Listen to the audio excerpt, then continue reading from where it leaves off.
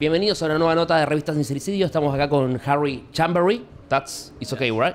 Okay. Uh, we are going to make some questions and we can start. Okay. So Harry, what do you think about Argentina? Uh, you knew before this uh, country or first time? This is my first time here in this country. Um, I knew nothing of Argentina other than what Ezio has told me about. That he, you know, he loves it here, and so uh, when he came here and told me that he was going to be celebrating his birthday here, his son Elias's birthday here, and my birthday just passed also, I thought, uh, why not? Let's let's come. Um, and because we created our production company just this year in January, where uh, we want to co-produce with other production companies here as well. Okay. Um, uh, how how you met um, Ezio? How was the, the moment that you think, okay, we can make some production together, right? Well, we met 25 years ago. Oh. Yeah. So at that, at that time, he was a student at the New York Film Academy. And although he had already, at 21 to 22, he had already, already written, produced, and directed two feature films here, uh, he wanted to learn the American way of, of making films. Which I don't know was good or bad, but he wanted he wanted he wanted to learn that. Mm-hmm. So he cast me as the lead in his thesis film back then, and since then we became, we stayed friends. Um, so that's how we got to know each other. And when he would make trips to New York City, we would always get together. And then when he finally moved to New, New York uh, several years ago, he was following his son, uh, he's very connected and bonded to his son. Um, he moved here. His son moved here with his mother, so he wanted to be close to his family. Um, so when he moved here, in the film that we created uh, called The Last Duel, in that film it's implied that my character dies. And in that film also, they had to age me with hair and makeup to make the story fit because because it takes place over 20 years time. So when he came to the United States, I was just joking with him. I said, "Hey, why don't we why don't we reshoot those scenes? I'm already that age now. I mean, when you don't need hair and makeup." And he's like, I have a better idea. So instead of writing a prequel or a sequel to it, we're actually using footage from that film 25 years ago, using that as flashbacks and creating a whole new story. So instead of me dying at the end, I get saved by an artist. Uh, he's stuck with rehabilitating me. And so the, the story then evolves from that. Okay. Okay. So uh, you want to tell uh, something about um, this uh, company, this new project that you're um, start right with with Ezio? Uh, will be in Argentina? Will be there in, in USA? How is the, the yeah. next steps? Um, that's a great question. One because um, I had always envisioned that we would shoot it in New York because we shot it in Brooklyn, New York. Uh, there was you know some great um, elements and streets and design there. Um, but coming here like, wait a minute, there's like a lot of things here that are very similar um, and in some ways even more beautiful. And cost wise, production wise, I think we're talking with uh, his production, his other, um, his lawyer who's here, uh, Oscar, and we were thinking like, well, I mean, the production value is we could get much more production value here. Mm-hmm and there's such an amazing source of talent here technical, crew, as well as acting. And it's like, you know, for the same money that we would spend in the United States, we could make a great film here. Yeah, yeah, yeah. yeah. I mean, you, you enter in, into a conflict, right? Uh, because Argentina have a lot of all of that you say, right? Yeah. Uh, have talent, have uh, great artists, and the location are amazing here. Yeah. So I and just working with Ezio because you know we we created a, a pitch deck for our film After Duel, and with that he's he's he introduced me to several of his friends that are working on the technical end here, with creating uh, the pitch deck, uh, the demos, the uh, proof of concept story, mm-hmm. and, and things like that. And these guys are like um, they're amazing. I mean, the what they put out it's just it's and in the short amount of they they work like this and it just it's just so inspiring to work with these people. Okay, that, that that's great. So, but you are a director. You work I've as di- director, right? I've directed uh, short films, never a feature film. Okay. Um, my primary uh, start into into this industry is as, as an actor. Uh, but then I started writing, and I also started directing and producing as well. But all short short stories. Okay, but uh, you your role right in this, um, I mean, you're partners, but you will be more in production, uh, more production oriented, or more in the artist part, or both. Actually, both. It's kind of like you know. So I come in into this company, the production company, uh, as an actor, uh, somewhat of a director, uh, but very tiny ti- part of directing, but some writing. Uh, But, but as a, like do right? Oh yeah, yeah. And but Ezio, he's coming into the in the production company primarily as a director and a producer as well. yeah. So the combination of our, of our two working together, it, it's it's fits very well. Yeah. Okay. What uh, if, for example, the, the production came to Argentina? Uh, is there any possibility that you came to Argentina uh, for living? No, right? For living, no, No, no. okay. I have. Uh, I'm Greek, and as you know, Greeks have big families. Yeah. You tell me your background, right? Yeah, and uh, you know, I, um, my grandson just turned one year old, so I'm very connected with family. So. Yeah, I mean, so- I could see coming here for you know for a length of time to work uh, and to you know just enjoy being here. Yeah. but always you know having my my uh, my home in the, your home, in, in the your, U.S. your roots there, Yeah, family. yeah. Is, that is important. Okay, so uh, Argentina. What do you think about Argentina? Yeah, What we went to the markets. We went to many uh, museums here so Okay. far. Um, what strikes me really is the the similarity to to New York City. Mm-hmm. Um, it's not as high, but it's uh, but it's also very European. Uh, you know, I've been to Paris, I've been to Rome, and places in Greece, and um, I walk through the streets, and I'm like, I could be, could swear I was in Europe in some in some areas. So it's very interesting the connection that way, and there's a huge, um, I guess, Italian heritage here as well, uh, as well as the, Spanish. And many of my friends in the U.S. are, are Italian Americans and Greek Americans, Spanish American, you know, also from the part of New Jersey where I'm from, there was a big influ- influx of, of, of Cubans and Puerto Ricans and Dominicans. So it's, it's, it's very, fami- this is very familiar to me. Okay. Yeah, because I have a good friend who lives in Washington Heights, and in Washington Oh. Heights, it's like it's all Spanish. It's like being here. Yeah, a, a lot of, of, of Latins, right? Yes. There. Yeah. Okay. Uh, do you want to say something else regarding the, the production about the company or something, or you think we're good? If you want to something, this Yeah, just that you know, um, I was you know a year ago from now, I was like thinking like, I don't need a production company. We're just trying to create, get uh, finish our screenplay. Then we finished the screenplay, and then it seems like the natural order or progression was to create the production company, so we would have more control Yeah. over the screenplay and who's going to be in it.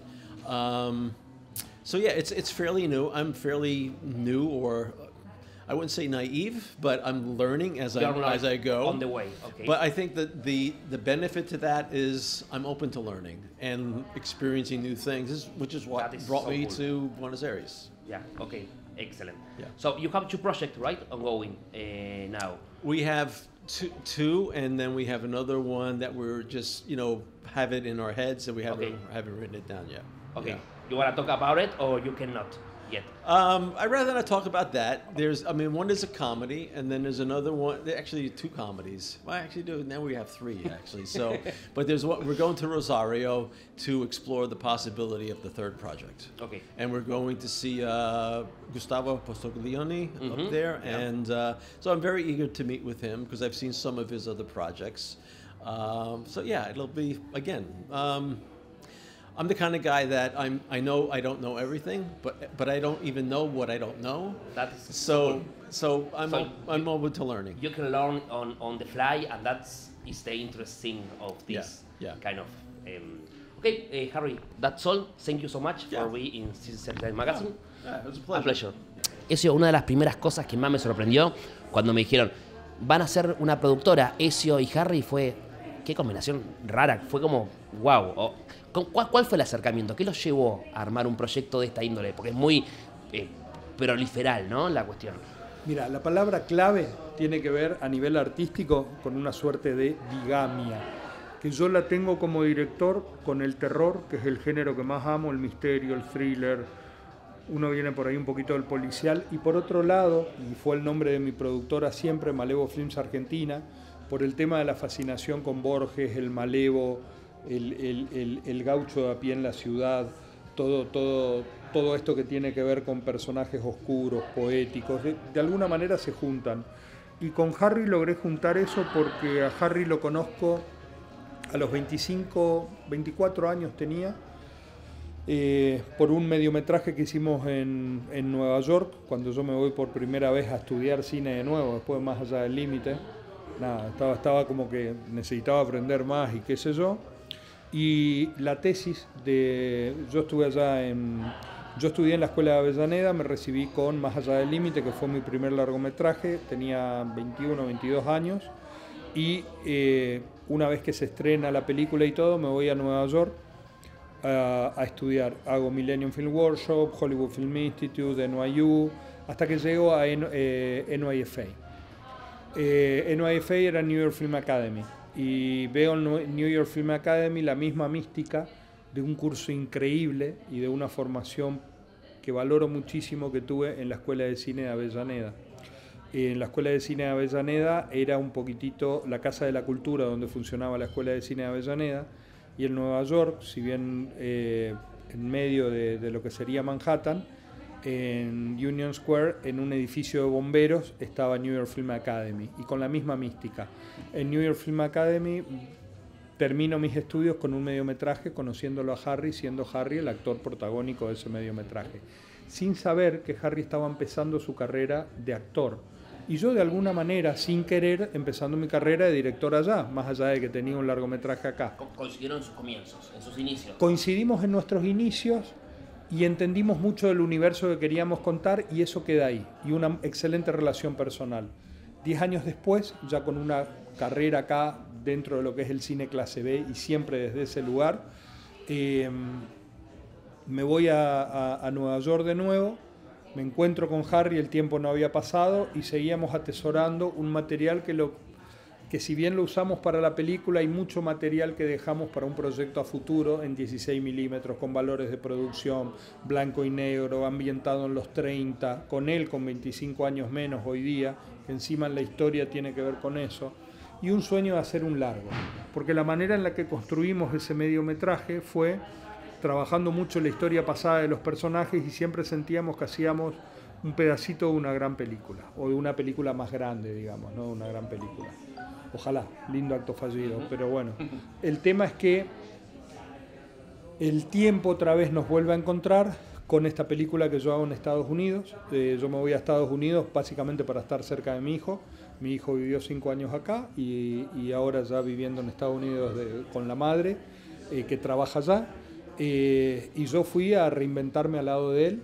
Y con esta película que hago, una cosa llevó a la otra y dijimos con Harry me propone armar una productora para manejar contenidos juntos. Y lo más importante de los contenidos, más allá del perfil, sean de género o no de género, digo, proyecto cinematográfico, es que tengan una pata en Buenos Aires. Porque yo lo que le dije yo estoy acá porque está mi hijo, también tengo ahora una película estrenada en cines en Estados Unidos, no es poco, es una peli muy chiquitita, eh, independiente, se llama Alter Ego, con Dylan Walsh, Eric Robert, le fue muy bien en festivales, eh, está en cines, pero yo no voy a dejar de ir a Argentina, tengo toda mi familia ahí, mi pertenencia ahí, y la única manera de poder equilibrar esto es todo lo que hagamos acá, más allá del eco que pueda tener acá, eh, me gustaría que tenga una pata acá. O sea, nunca jamás caer en algo de... Yo, no voy a ser turista en mi propio país. Y cualquiera sea el momento, lo que esté atravesando mi país, yo a mi país lo entiendo, lo conozco, sé las, la capacidad que uno tiene acá creativa para trabajar, eh, lo mucho y lo bien que se está produciendo y el pedazo de país que tenemos para filmar. Así que bueno, la verdad que uno no puede ser ciego, sordo y pelotudo, digo, entonces alguna de las tres debo tener, pero no las tres juntas. Y de ahí vino la, idea de venir acá para filmar acá. Está excelente. Bueno, hace un rato le hicimos la entrevista a, Harry y nos contaba lo mismo, o sea que coinciden también en esto de las raíces, ¿no? Yo le pregunté, che, ¿habría posibilidad que vos tengas a Argentina a vivir en el caso de que, nada, la productora empiece como a correr y empiece a tener producciones? Y me dijo lo mismo que vos, no, puedo ir, venir, pero en definitiva mis raíces, él me contó que era griego, que venía de Grecia, toda la cuestión, eh, mis raíces están allá, ¿no? Entonces está bueno esa conciliación de decir, bueno, no perdemos nuestra identidad, pero hacemos algo que sea una comunión entre ambas cosas y se, y se, se puede generar algo muy Totalmente, interesante. Totalmente, porque acá no hay obsecuencia, ni no es que yo llegué allá y, oh, Nueva York es ahora, no sé, eh, el, el holy- eh, el santo grial para mí y largo todo, vivo acá. No, o sea, ni él tampoco, y créeme que está enamorado de Buenos Aires. Él nunca vino a Latinoamérica y nunca vino a Buenos Aires. Y lo primero que le mostré es, es, bueno, vos me presentaste Nueva York y New Jersey, yo te presento Buenos Aires y Rosario. Ahora, y esto te va a sorprender todavía más, porque somos las antípodas de alguna manera, somos muy amigos, nos respetamos mucho y ahí creo que un par de casilleros más moví yo con Gustavo Postiglione, él siempre me hizo ver cosas de la Novel Back que algunas cosas me han servido mucho y otras no me entran ni por ósmosis. Y en el caso mío, yo obviamente lo senté con, con mucho cine de género, que aparte Gustavo no tenés que sentarlo, vio todo. Y de ahí, de eternas discusiones entre los dos, de las cuales yo me he beneficiado mucho. Y Gustavo ya ha hecho dos películas de género. Este, yo no hice ni una de Novel Back todavía. Eh, digo, pero bueno, eh, en medio de todo esto, salió algo que estamos pergeñando, que al terminar esto con Harry estamos mañana viajando a las 7 de la mañana a Rosario por tres días y hay algo que se está gestando ahí que tiene que ver con esta comunión que tenemos también con Gustavo Postiglione y, que conozca Rosario. Yo básicamente lo que estoy buscando acá es que vea Harry eh, dónde está la otra pata de la productora también, porque cualquiera sea el proyecto, probablemente venga, yo estoy moviendo proyectos allá y acá. Acá tengo toda mi familia, mis afectos, mi lugar, mi hijo está en Estados Unidos y ya tengo una película allá que va creciendo con mi hijo y yo estoy al lado de él. Digo, a medida que esto vaya creciendo, de una u otra manera va a estar siempre Buenos Aires presente si trabajo allá, porque algo se va a hacer acá. Y probablemente lo que haga acá, veré de qué manera puedo incorporar lo que tengo allá. A la hora de la verdad, creo que es un- una posibilidad de que ambas cosas se potencien. Bueno, eh, la estrategia de traerlo a Argentina para que conozca funcionó, porque yo lo, lo- lo- eh, hicimos la entrevista anteriormente y nos dijo, yo veo mucho potencial, mucho potencial de locación, mucho potencial artístico, técnico, bueno, así que nada, eh, eh, este, ese mm, approach de traerlo a Argentina como para que conozca, realmente dio frutos, eh. Eh, trampa que funcionó. muy bien, muy bien. Eh, tienen dos proyectos en marcha, ¿no? Con la productora. ¿Querés comentaros un poquito sobre, sobre eso? Eh, el proyecto que formó la productora se llama After Yule, que es la historia de básicamente un pintor que encuentra un moribundo con un pasado y cómo de alguna manera a través de cómo el arte de alguna manera sana, porque este pintor está en un bloqueo creativo y este hombre tiene un pasado, cada uno se reconstruye, reconstruye al otro, y esa película tiene algo muy particular, va a ser tratada como una película de género, aunque sea una novela negra, hay mucha oscuridad en la película, pero una cosa que nos interesó de la película tiene que ver con el hecho artístico. Harry es un pintor exquisito, además de ser un, un- actor interesantísimo y un productor nato. Eh, y de alguna manera en la película van a ver dos cosas que, más allá de que se hayan hecho o no, nos parecieron muy importantes para el proyecto. Eh, más allá de que la película está ambientada de época y todo, en la película hay un salto de 25 años entre una situación y otra, y sobre todo el pasado de él. El material de hace 25 años ya lo tenemos, están 16 milímetros, lo filmamos hace 25 años, y las tres pinturas que se van a hacer en tiempo real en la película, cuando la película se estrene, se muestran las tres pinturas también. O sea, nos mandamos en esa. En el mismo proof of concept que tenés de la película, que es que como un trailer de una película que se está por hacer, acompaña un pitch deck para vender la película, hay un arte y todo eso. Es básicamente para que los inversores entiendan cuál va a ser la película. Hay una pintura que se hizo en tiempo real. Y después hay un viejo desafío de Harry con la comedia y nos jugamos una comedia bastante poco políticamente correcta que se llama que es una historia de amor que se llama Back to the Closet. Que vi, vi el afiche, tiene como una estética muy referencial a Volver, a volver al Futuro, ¿no? El Back to the Claro, Future. es, es- es un juego, es, es un juego con eso, pero la verdad que es, es, es una sesión de... Es la manera más interesante que se nos ocurrió de contar una historia de amor eh, en una sesión de, de- de terapia, básicamente. Por todas las razones erradas, llegar a un lugar correcto. Bueno, el nombre es bastante sugerente, Back to the Closet, así que supongo por dónde viene la trama. No sé hasta dónde podés contar o no contar, eh, pero si no podés contar mucho, lo dejamos acá. No, sí, sí. Ok. Básicamente un personaje vive un multiverso que lo tuvo de alguna manera en orden, sus mundos empezaron a chocar y quiere salir del único lugar donde verdaderamente está sano y está bien. Y, y vamos a compartir el guion con un gran amigo de Harry, eh, que es como una suerte de Jack Lemon, de verdad, por descubrir. Y la película tiene que ver con yendo por todos los carriles por ahí laterales o por oposición, llegar a, una historia de amor muy pura eh, dentro de lo que sería una sesión de psicología espantosa para el psicólogo, porque le caen con la propuesta más estúpida jamás pensada, políticamente incorrecta, pero que los va a llevar un poquito a ese lugar. Excelente. Bueno, eh, eso, te agradecemos. eh, muchos éxitos en esta nueva propuesta y, y productora y espero que, que nos veamos pronto. ¿Vale? Señor, nuevo desafío. Nos vemos. Hasta luego, gracias.